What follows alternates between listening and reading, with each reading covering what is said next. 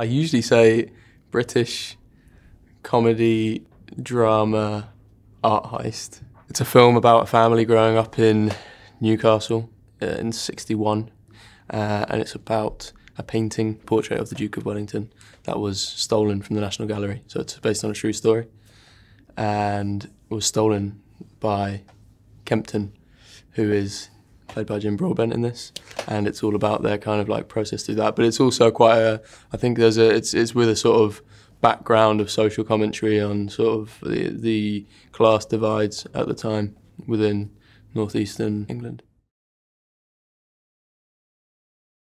Jackie is the son of Kempton and Dorothy, and he he's a boat builder, and you kind of introduced him as he's finishing up near the beginning of the movie, finishing up on a day of work on the boat, jumping on his bike and heading home, and seeing these uh, television license enforcers coming in, uh, knocking on his family door. I think he's inherited some of Kempton's kind of uh, disregard for the establishment and disagreement with a lot of the things going on, and, and he takes to heart a lot of the things that Kempton says about the painting and about how how why is the government spending money on this painting when they could be spending it on social welfare.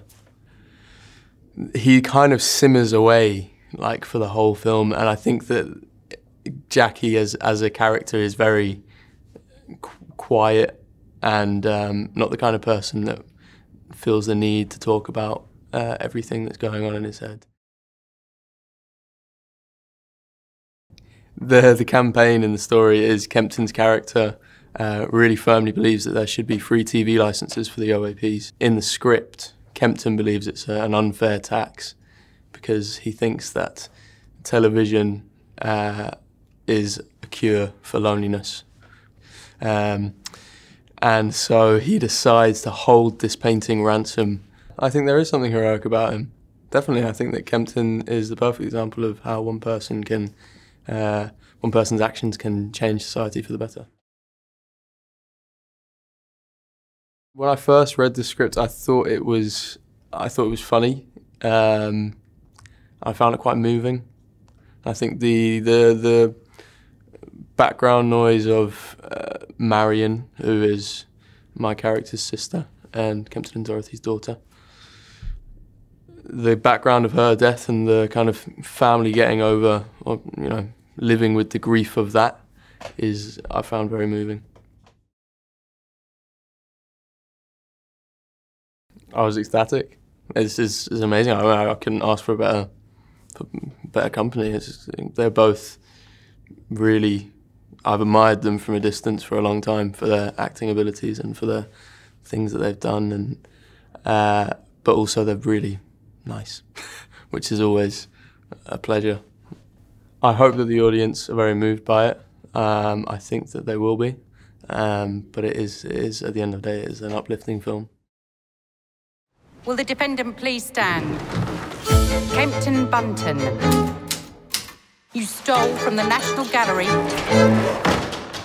a priceless portrait of the Duke of Wellington by Goya.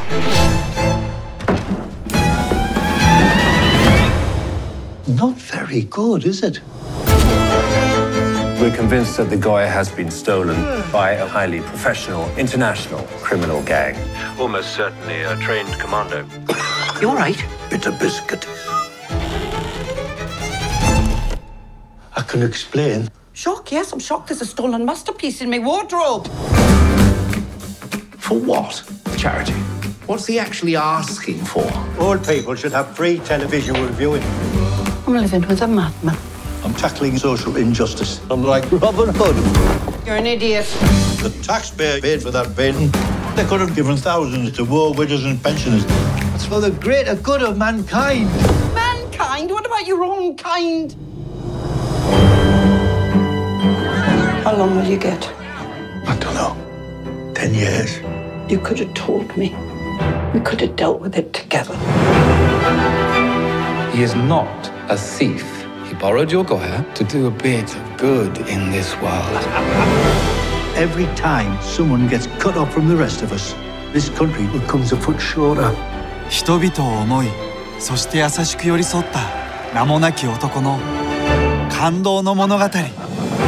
ゴヤの名画と優しい泥棒。